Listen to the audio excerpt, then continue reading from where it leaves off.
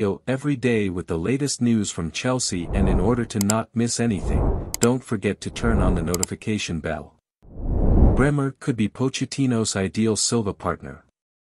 Mauricio Pochettino has seen some standout players go since taking charge at Chelsea, but one could be on the way.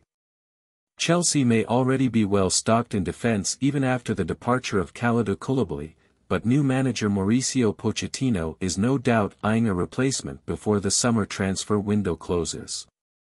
Juventus defender Gleison Bremer is heavily linked with a move to Stamford Bridge, although Chelsea and Manchester United now look to face new competition from Premier League side Tottenham Hotspur.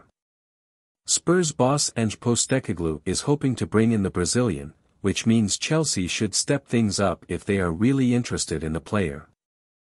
Bremer joined Juventus from Turin just last year, having caught the eye in three seasons as a regular with their city rivals, most notably in 2021-22 when he was named Serie A Best Defender.